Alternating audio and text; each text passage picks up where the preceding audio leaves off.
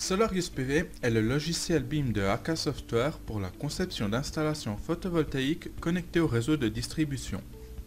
À l'ouverture du logiciel, la page d'accueil s'affiche à l'écran, où nous pouvons effectuer différentes opérations, comme la création d'un nouveau projet, l'ouverture de fichiers existants, la configuration des paramètres du logiciel ou accéder aux services d'assistance. Voyons-les ensemble. Depuis le menu nouveau, nous pouvons créer un nouveau projet en allant déjà définir la typologie d'installation. Nous pouvons donc choisir parmi une installation monophasée en basse tension, triphasée en basse tension ou triphasée en moyenne tension. Si nous nous déplaçons depuis le ruban bleu sur la gauche dans le menu Ouvrir, nous pouvons ouvrir un projet de Solarius déjà existant.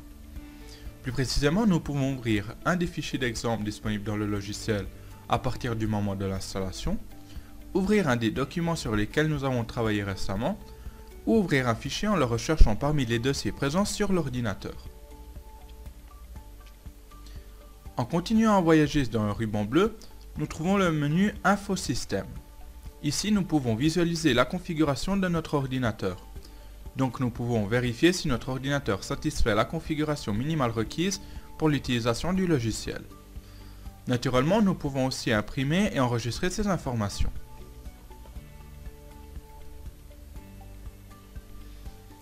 Enfin, toujours depuis la barre bleue, depuis le menu Options, nous pouvons définir les paramètres par défaut du logiciel.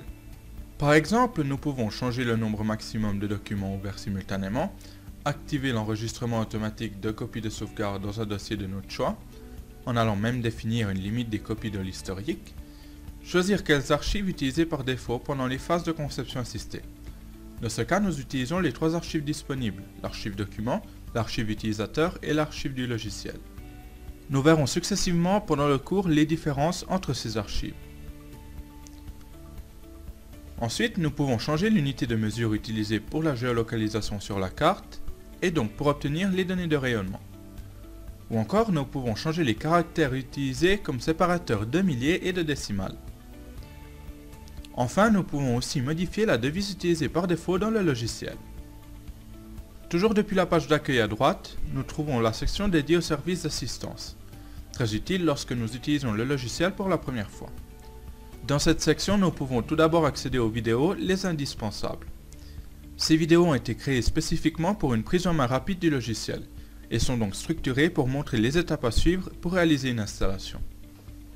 En bas à droite, nous pouvons visualiser les dernières discussions forum abordées par les utilisateurs et visualiser d'éventuelles notifications de AK au sujet du logiciel. En haut à droite, nous avons quatre boutons. Les boutons pour accéder aux services d'assistance et le bouton pour la vérification des mises à jour. Les services d'assistance sont trois. L'aide, le forum et le tutoriel vidéo. L'aide nous permet de rechercher un sujet qui nous intéresse à travers une fonction dédiée, en obtenant en retour des tutoriels vidéo, des discussions forum et des réponses de la foire aux questions sur le sujet. Le forum nous permet de visualiser les discussions sur des sujets abordés par d'autres utilisateurs. Le tutoriel vidéo nous permet d'accéder aux vidéos explicatives de toutes les fonctionnalités du logiciel, regroupées par différentes catégories.